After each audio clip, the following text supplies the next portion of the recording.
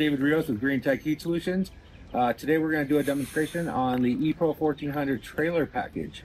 So this has a 50 kW generator in it with uh, three of the 1400s. And here's some of the upgrades we've done to the trailer. Um, the startup process is real simple.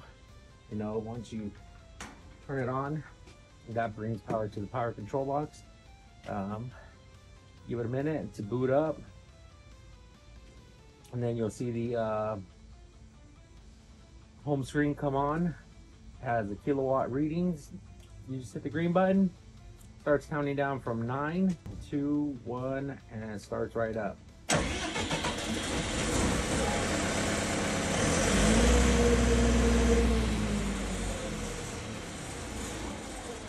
So once it starts up and it's running and it's up and going, you know, you hook up your extension cords, run them to your treatment area, hook up your heaters.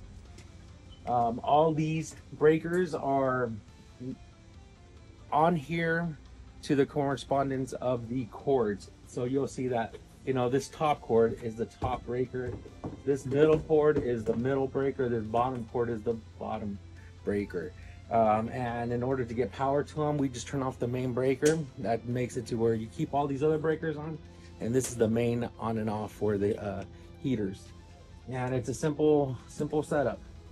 Now, I do want to go over one thing real quick. So depending on what region you're in, let's say for instance, you're in uh, any of the colder states. And I was going to say the northern states, but as we've seen this this winter, it came down a little bit lower you know so sometimes that may drain the battery if you have a jump starter you may want to utilize that with the jump starter also you can have your block heater and your um, trickle charger plugged in to make sure that the battery has constant power going to it. And then once you you know make sure you the batteries you want to make sure that there's power going to it.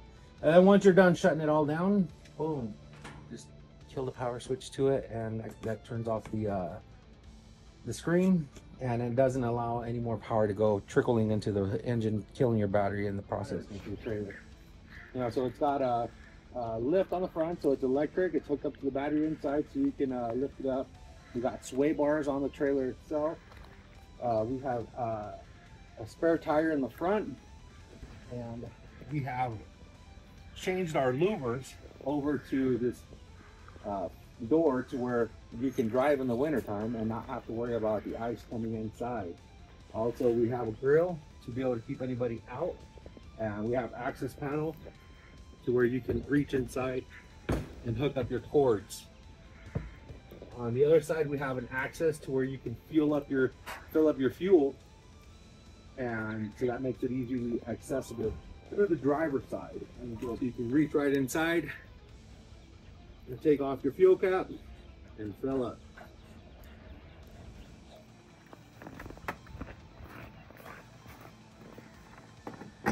So this right here is uh, our, um, so we to have louvers here before. Now we put in a, um, a door to where you can open and close it. Once again, this is to keep, um, you know, any critters out and also to be able to run in this nice cold weather. So, you know, you're gonna open it up, you're not gonna have any ice inside. So we've definitely upgraded this to this door. Um, uh, yeah, so you know, it's made to be able to swing it inward, outward. We have a rubber all the way around the edge to where it'll keep out any of the moisture and the weather outside to where you're doing with a nice clean trailer. Uh, we have also changed the exhaust to where it goes upward, uh, no longer on the downside of it. And so, you know, now it's just gonna shoot straight up. This trailer's sitting at nine foot, six inches. Uh, we got a sticker on the side to remind you every time you look at your mirror so you can uh, keep an eye on those uh, any overpasses and anything of the sort.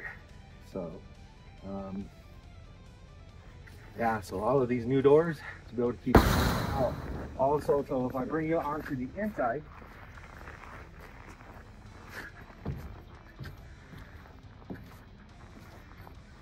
we've upgraded the shelving.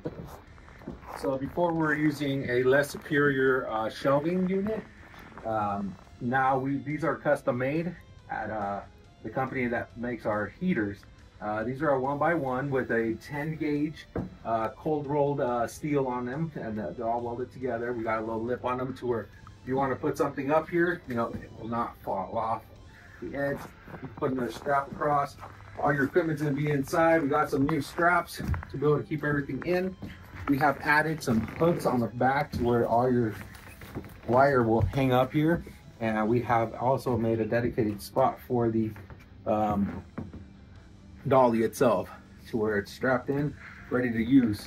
You know, we've got the um, non-slip coating, which helps really nicely. As you can see, we've been walking in ice. We just go right up the ramp, not having to worry about slipping. And like I mentioned earlier as well, so we did have the exhaust go straight up. We have wrapped it with some uh, some exhaust insulation just in case you touch it, you don't burn yourself.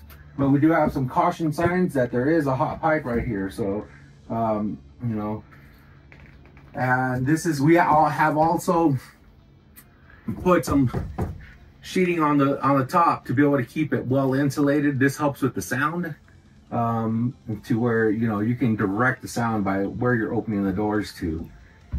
Uh, here are the three 1400s strapped in, and you got your nine fans all strapped in, nice and safe. And also we have uh, your crate with all your belongings. Ooh. So, so we got the wall wires coming in. Boom. This is our training room. We got a 1400. And you see that flower of heat just coming right off of that. We got our fan circulating back around. We got 125 degrees in here. And see a nice flower of heat just coming right off that heater. So beautiful. So we got ourselves testing out this piece of equipment here at the GreenTech Heat Solutions